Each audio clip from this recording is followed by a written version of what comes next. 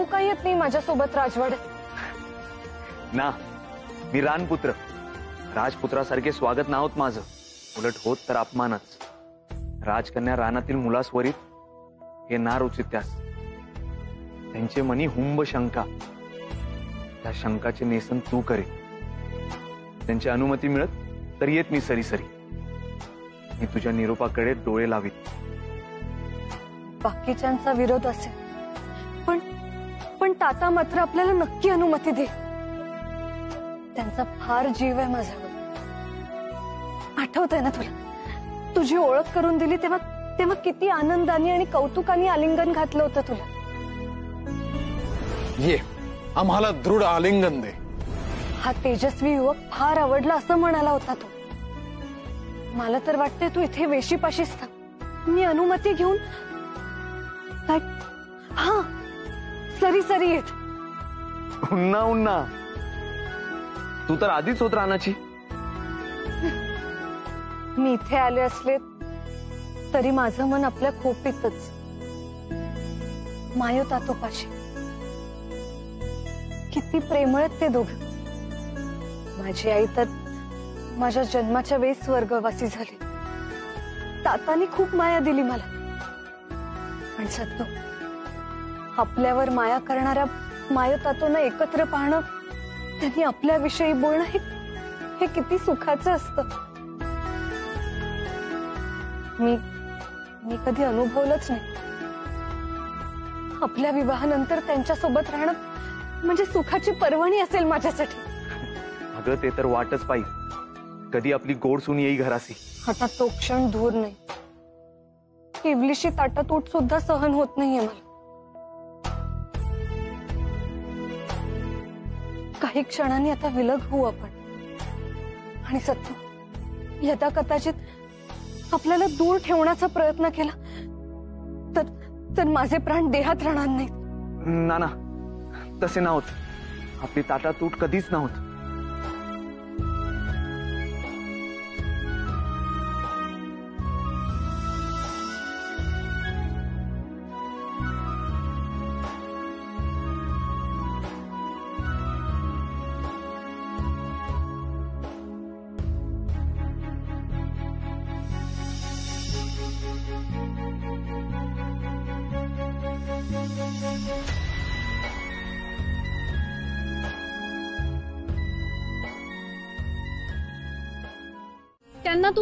झालेलीही चालत नाही. आणि तू अशी अचानक रानात गेली तर तुझ्या हाल अपेष्टांना ते कसं सहन करतील? जरा समजून घ्यायचा प्रयत्न कर. होय सांगतो. महाराणींचं अगदी बरोबर आहे. आता तुला फुलासारखं जपलंय आम्ही. आणि तू त्या रानातल्या काट्या कुठेच जाऊन राहणार आहेस का? रान म्हणजे काय? फक्त काटे कुठे आहेत का? तू तर गेलाच रानात. उलट इथल्या नगरातल्या कृत्रिम औपचारिकतेपेक्षा मला तिथल्या रानातलं साधं सुद्धा जगणं आवडतं. आणि आपली प्रिय व्यक्ती जिथे असते ती जागा आपल्यासाठी स्वर्गच असते ना ताजी जग का ध्यानात येत नाहीये? नाही नाही. हे बघ हे बोलणं सोपं आहे. दोन चार दिवस रानातल्या या गोष्टींचा आस्वाद घेणं वेगळं आणि इथलं सुखासीन आयुष्य सोडून जन्मभर तिथे जाऊन राहणं वेगळं तुला नाही जमणार सावित्री नाही झेपणार तुला. हे बघ वेड्या भ्रमात राहू नकोस तू. आम्ही अनुमती देऊ शकत नाही. महाराज सावित्रीचं मन असं तडकाफडकी दुखवू नका. तिनं तिच्या मनाने वर निवडावा हे आपणच ठरवलंय ना. मग तिच्या प्रस्तावाचं निदान आपण विचार तरी करा. किंवा आपण या बाबतीत राजमातांचा सल्ला घेऊया. राजमाता तर विरोधच करते राजमातांनी जर होकार दिला तर या प्रस्तावाचा विचार करू. ठीक आहे. बाहेरच्या जगात काय चाललंय याचं तुम्हाला कुठे भान होतं? जशी सावित्री मोठी झाली तसा संग्रामही मोठा झाला. पहा किती राजबिंडा दिसतोय ते? तेव्हा हा विवाह सर्व दृष्टीने आपल्याला अनुकूल आहे. आणि विवाह उद्या संपन्न होईल. नाही.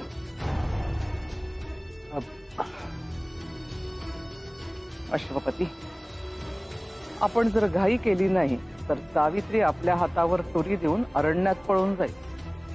आणि परस्पर विवाह करेल नाही नाही. तसं होता कामा नये. ठरलं तर मग. अमात्य. जी राजमाता. तुम्ही तयारीला लागा.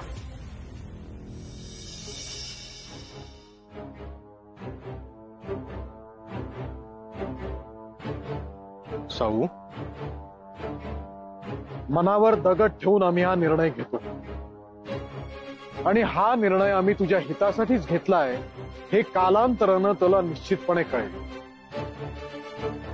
या विवाहासाठी तयार हो. आजवर पिता म्हणून कधीही आम्ही तुला आज्ञा केली नाही पण आज करतोय. स्पष्टपणे सांगतोय. पळून जाण्याचा प्रयत्न करू नकोस.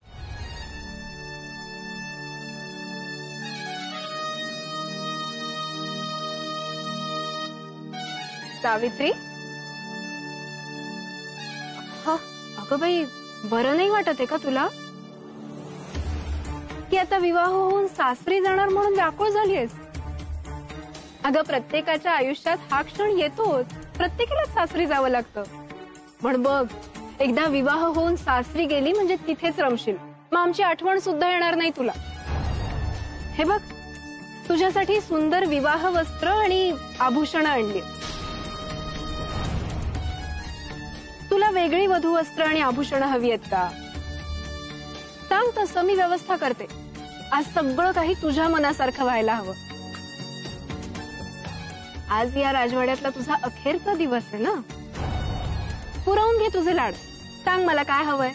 तुम्ही इथून निघून जावं इतकीच इच्छा आहे माझी. हरकत नाही. पण ही वधू वस्त्र परिधान करून लवकर बाहेर ये विवाहाची घटिका जवळ येते आणि वरपक्षाची सगळी मंडळी आली सगळे तुझीच वाट पाहतात. लवकर तयार हो आणि ये. क्षमा मातुश्री. परंतु मी येणार नाही. आणि ही वधू वस्त्र परिधान करून तर नाहीच नाही. म्हणजे? काय बोलतेस तू?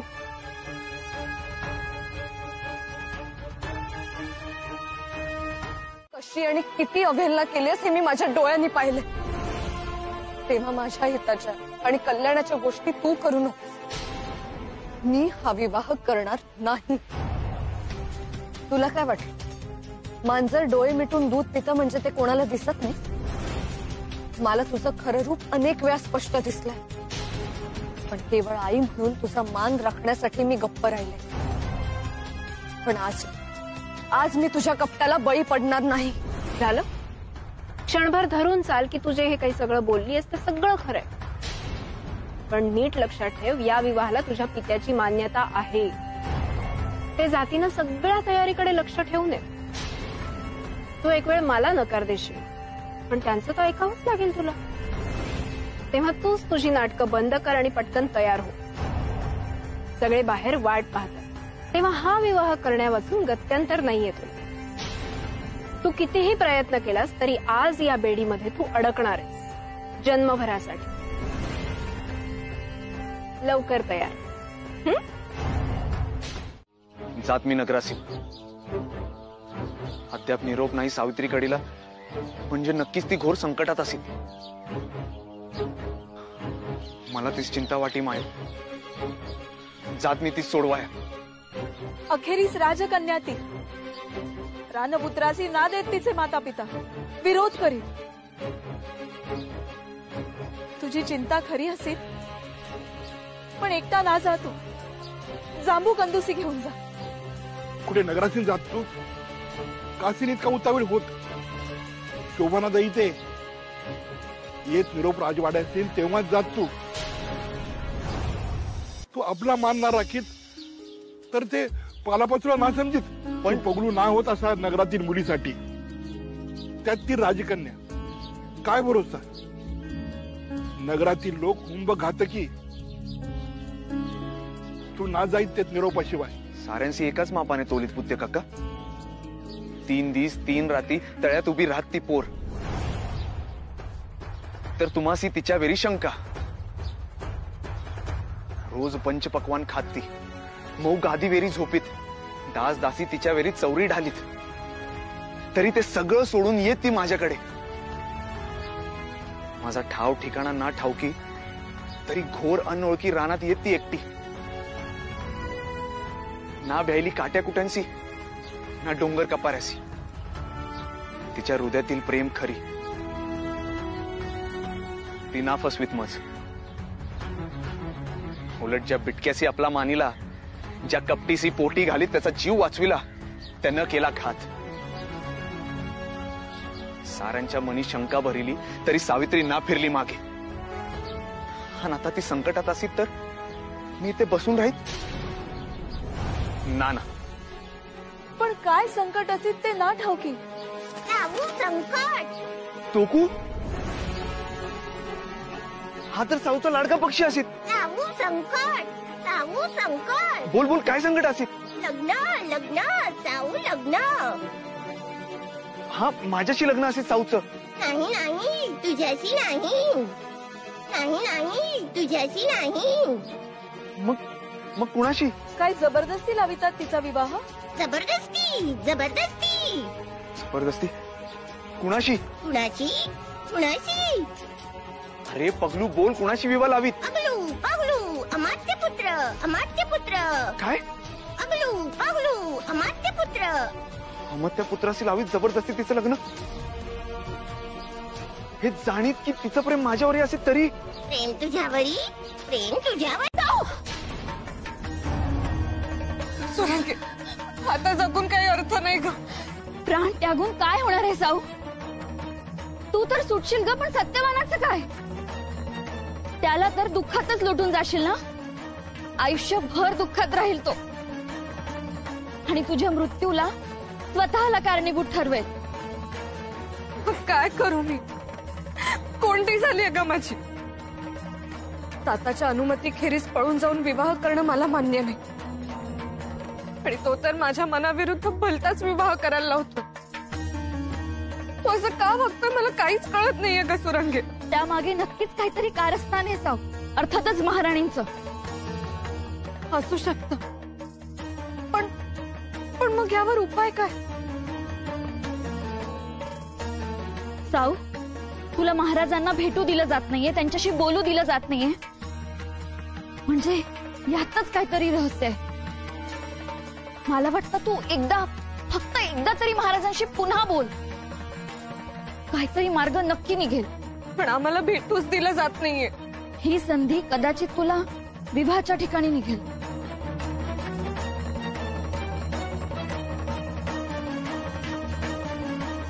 राजकुमारी.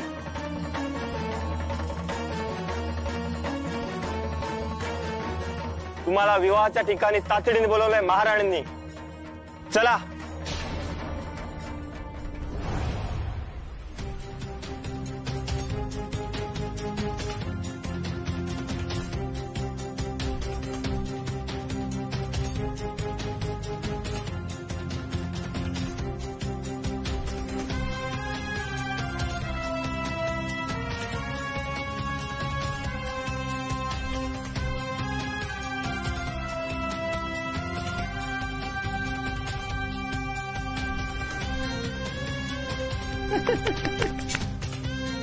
ताता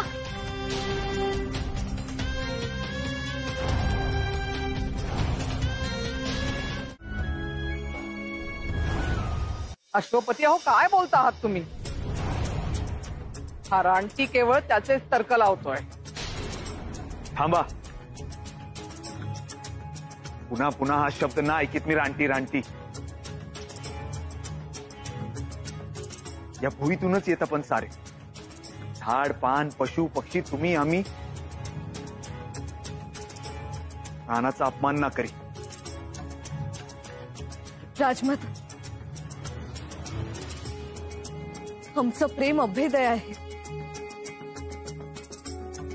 आम्ही कोणत्याही अग्निपरीक्षेला सामोरं जायला दोघंही तयार आहोत. परी साऊच्या तातोची अनुमती आम्हास हवी. नंतर विवाह. सांगा तातू काय विचार करी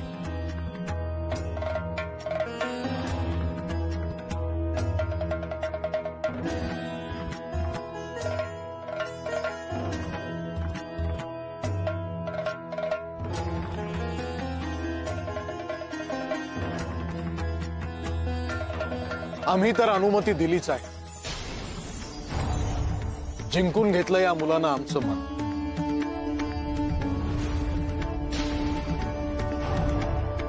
हा जर मला जिंकू शकतो तर आमच्या मुलीचं मन यानं जिंकलं असेल ह्यात काही नवलच नाही. माझे आशीर्वाद आहेत. तातडीनं संपन्न होईल हा विवाह. ना.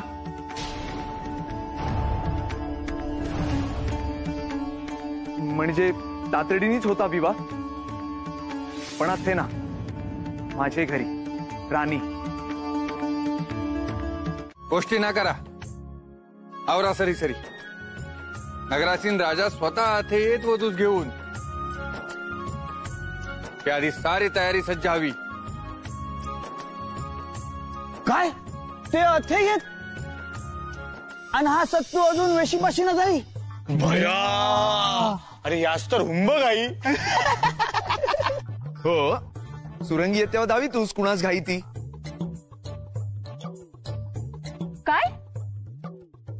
ऐकीत आम्ही? हा? तू तू तू तू लग्न करीत सुरंगीशी? हा? ना ना ना ना ना ना ना मायो. अब तीच फुल देतो मी ना. तो तर तो, तो हा. हा? हा जांभू तू हा का- काय? ना ना ना. ए मजवर का ढकलीत? मी ना मी ना. हाच. असं तू ना हुंब लबाड हा. आम्हाशी वाटे आम्ही अशी गिरीत. पण हाच आम्हाशी गिरीत. तर तू एक गोष्ट तू पण ध्यानी धरी. तवंगड्यांशी तुरी देत तू पण बायकोस ना देऊ शकत. तिथे पायीचा दास तू.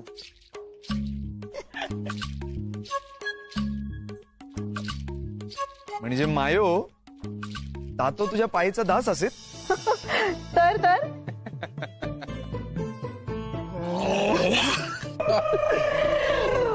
आले. सावित्रीसी मद्रा महाराज वेशीपाशी घेऊन येत. चला सरी सरी.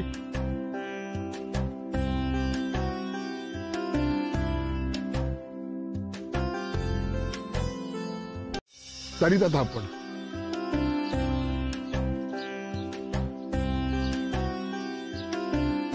जांभू करंदू तुम्ही महाराणी आणि मामांशी सांभाळी. आणि मी महाराज आणि सत्तू सावित्री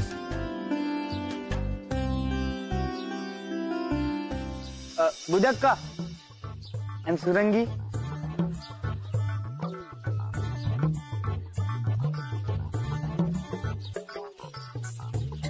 ना ना ते अ, तिलाही रान नवी. मागे वाटेवेरी सोबत हवी. जांभ्या करवंद्या. अ, सुरंगीस पण तुम्ही सोबत करी. चला आता उशीर नको. तुझ्या माता पित्यांना भेटण्यासाठी आम्ही उत्सुक आहोत. तेही खोपीत वाट बघित तुमची.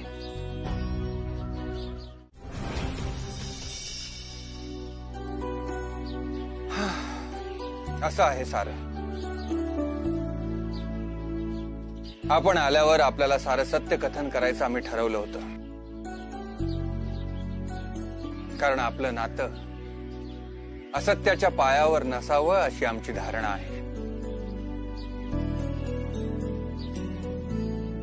परंतु हे सत्य सत्तू आणि साऊला वर्षभरानंतर सांगावं असा आमचा मानस आहे. रास्त आहे हा तुमचा निर्णय. परिपक्वता आल्यानंतरच समजलेलं उचित. खरच नियतीची लीला आगाध आहे. एकच सांगतो.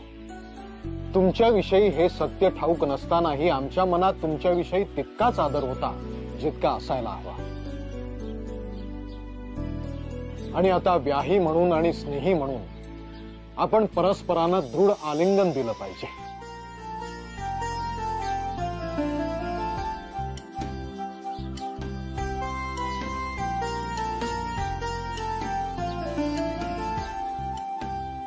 हे रहस्य रहस्यच राहील यातच सगळ्यांचं हित आहे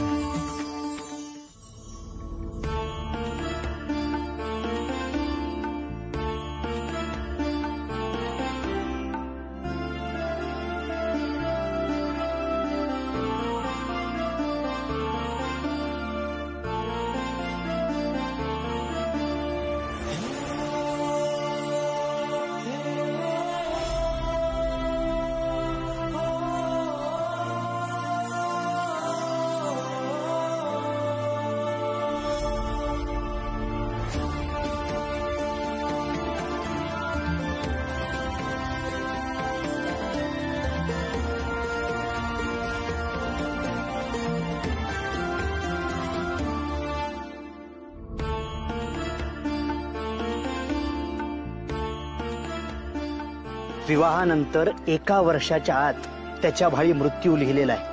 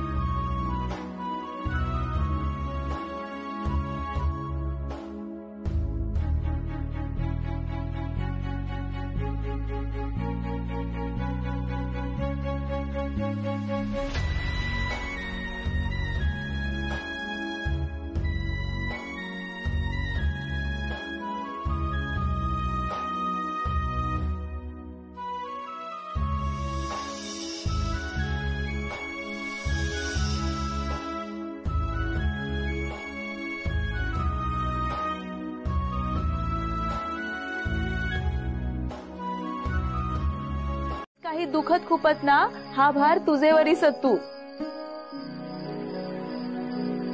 तीस त्रास देत तर बघ. मी तर तिची काळजी घेत. पण ही हट्टी ऐकी तर ना. नी जा आता तुम्ही. मीही जात माझ्या खोपीसन. मलाही नीज येत.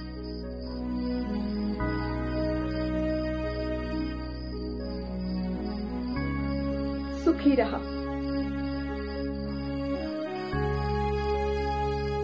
सावित्री सांभाळी स्वतःच्या संसाराला.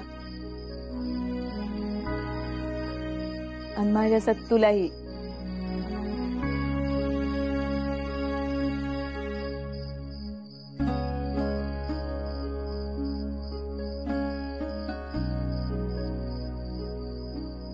तुझा राजवाडा उम्हम. तो ताताचा राजवाडा. माझा राजवाडा तर हाच. आता यापुढे तुझं आणि माझं वेगळं असं काही नाही. जे असेल ते आपलंच हम्म. आपलं प्रेम रोज टवटवीत आणि नवं राहील. माझे मायोत आता हुंब कष्ट करीत. आणि आता आपण त्यासी विसावा देत.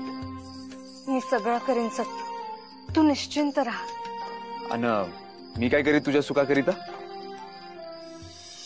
तू माझा हात घट्ट धरून ठेव. कधीच जाऊ नकोस मला सोडून.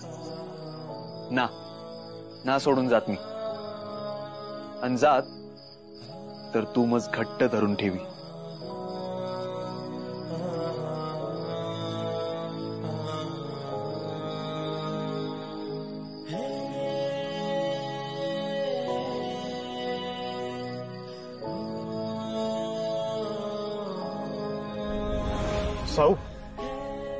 साऊ तू हा विवाह नको करूस.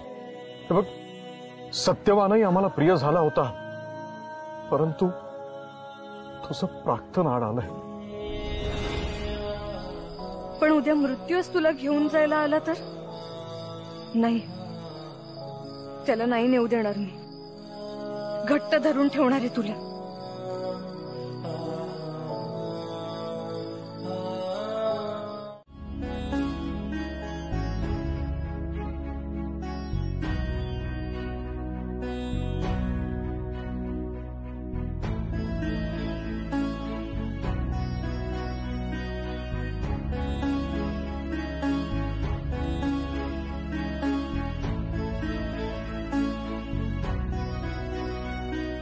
घ्या ऋषीवर.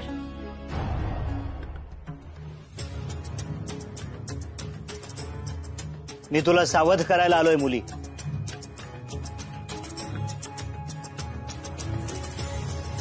नारायण नारायण.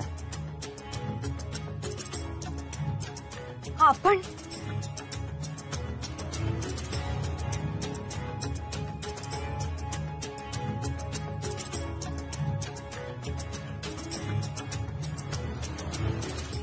झालं तुम्ही दोन्ही वेळेला फक्त माझ्या डोक्यावर हात ठेवला. अष्टपुत्र सौभाग्यवती भव असा आशीर्वाद नाही दिलात तुम्ही. अगं तर्क नको करूस मुली. तुझ्या पतीचा सत्यवानाचा मृत्यू असा समोर येऊन उभा ठाकलेला असताना मी असा आशीर्वाद कसा देऊ? असे असे कठोर भाष्य का करताय तुम्ही? अगं उलट तुझ्यावर कोसळणाऱ्या दुःखाची कल्पना असल्यामुळे मी तुला पुन्हा पुन्हा सावध केलं होतं. लग्नाच्या आधी सुद्धा आणि आताही हा क्षण समोर आलाय तेव्हा सुद्धा. हे प्राक्तन आहे मुली. मग व्रत करून किंवा तप करून हे हे प्राक्तन बदलता नाही का येणार हे प्रश्न माझ्या कक्षेबाहेरचे आहेत. प्राक्तन बदलणं हे अशक्यप्राय आहे आणि हे जाणवून कुणीही अद्याप हे दुस्साहस केलेले नाही. त्यामुळे तूही त्या भ्रमात राहू नकोस. तुझा पती केवळ तीन दिवसांचा सोबती आहे हे ध्यानी धर. एक एक क्षण मोलाचा आहे. त्यामुळे त्याचा सहवास मनी साठव. हाती असलेल्या दिवसांमध्ये आयुष्यभराच्या प्रेमाचा वर्षाव कर. अगं प्रेमात फार मोठी ताकद असते. आणि तीच आपल्याला सर्वव्यापी परमेश्वराशी जोडते. आता त्याचाच तुला आधार. नारायण नारायण.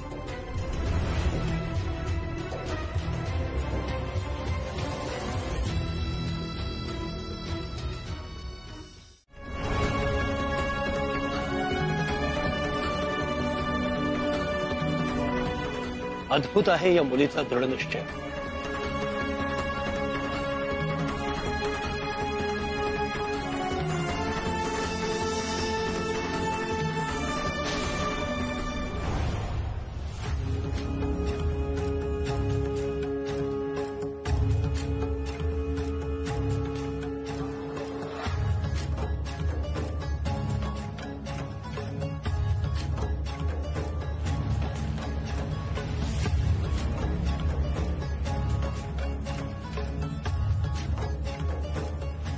प्रणाम यमराज. आपल्या संवादाचा धागा तुटला असं का वाटतंय मला? काळ ही संकल्पना अतिशय गुंतागुंतीची आहे मुली.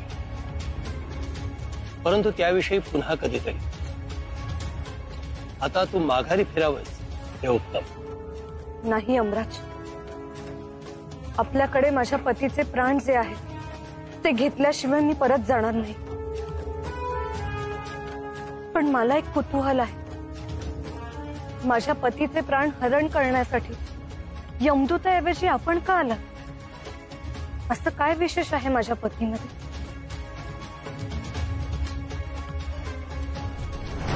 तेव्हा आता बोलण्यात अडचण कसली? हुशार आहेस सावित्री. धन्यवाद. ब्रह्मचर्याश्रम गृहस्थाश्रम वानप्रस्थाश्रम आणि संन्यासाश्रम.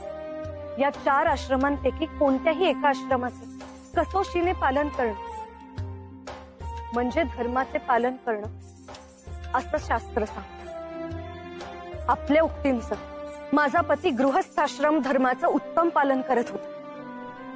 मग त्याचा धर्म सोडून त्याला का घेऊन जात आहात तुझी तर्कबुद्धी अतिशय धारदार आहे सावित्री. तुझ्या बुद्धी सामर्थ्याने मी अत्यंत प्रभावित झालेलो आहे. आणि याकरता मी प्रसन्न होऊन तुला एक वर देऊ इच्छितो. सत्यवानाचे प्राण परत मागण्याखेरीज कोणताही एक वर माग आपण अत्यंत उदार आहात यमराज. मला वर दिल्यामुळे मी तुमची ऋणी आहे. माग तर मग वर. माझे श्वशूर शाल्व देशाचे महाराज हिम्मत सिंग यांची दृष्टी कप्ताने विझवण्यात आली आहे. त्यांची दृष्टी आणि त्यांची शक्ती परत यावी.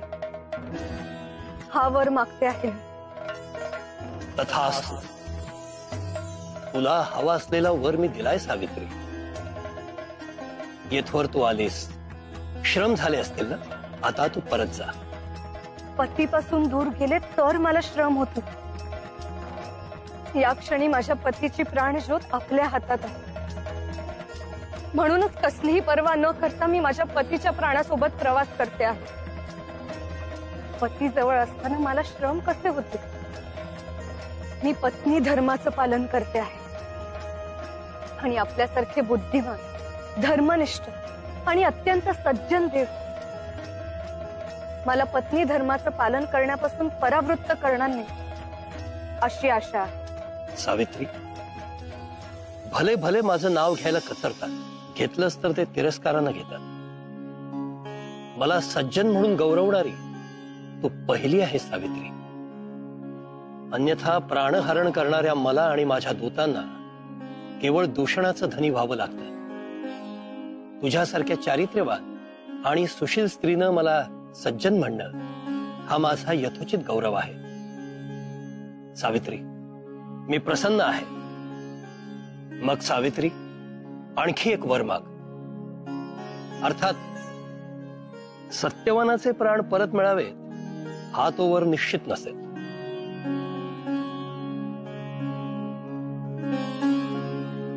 धन्यवाद यमराज.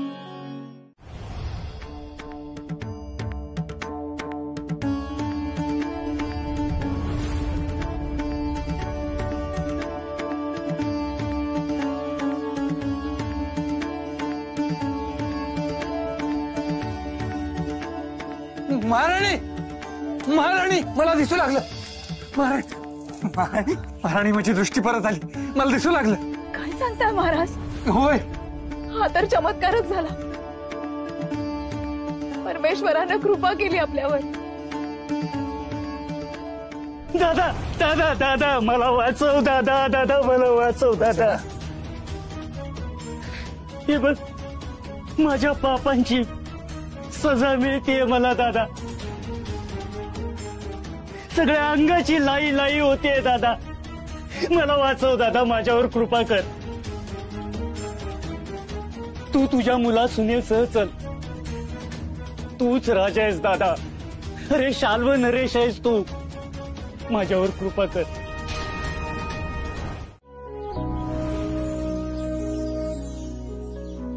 सत्यवाना ही सावित्री कोण रे? म्हणजे ही तर माझी प्रिय पत्नी माझी साऊ. पण तुम्ही कोण असेल?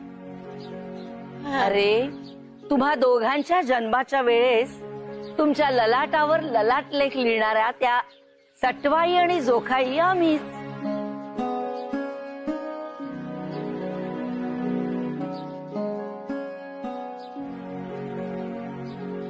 तुला ठाऊक नाही सत्यवाना. पण तुझ्या प्रार्थनात मृत्यू होता. आणि तू मृत्यू पावलाच देखील. काय? तुला जी झोप लागली होती ती काळझोप होती. तुझा देह इथेच होता. आणि प्राण मात्र यमराजाने हरण केले होते. काय? पण मग? पण मग तू अजूनही जिवंत कसा? हेच ना होय. हे सावित्रीचं प्रेम. तिचा प्रेमावरचा आढळ विश्वास. आणि तुझे प्राण परत आणण्याचा दृढ निश्चय. साक्षात यमधर्माशी वादविवाद करून कधी तर्कानं तर कधी लाघवीपणानं त्यांची बुद्धी आणि मन जिंकून सावित्रीनं तुझे प्राण ज्योत परत आणली.